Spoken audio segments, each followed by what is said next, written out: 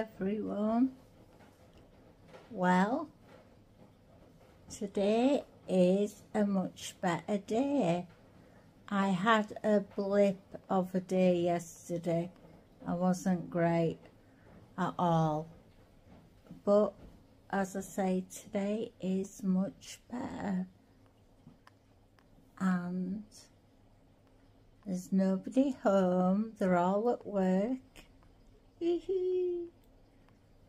I've got a nice cup of coffee.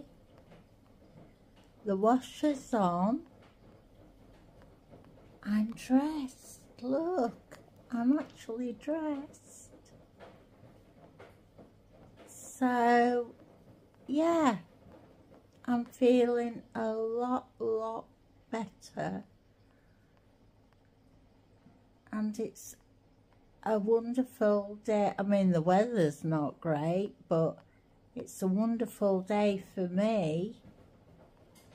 So I'm just so happy I woke up today and there's no repeats yet of the past few days, which is great. So my plans for today are get dinner ready sort of earlier-ish and that's out of the way.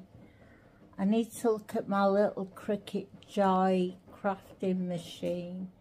One of the rollers isn't working so it won't feed the mat in. Um, I've got Casey to leave me some screwdrivers out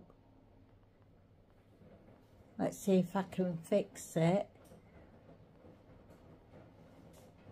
Uh, what else? I don't know. What else? We'll have to see. Well, I didn't vlog making it, but I'm about to put it in the oven so here's the proof. Yes, I got the lasagna made. Way! And there it is. Lasagna done. yes, I'm winning today. I think I am. And on that note, I'm going to put it in the oven.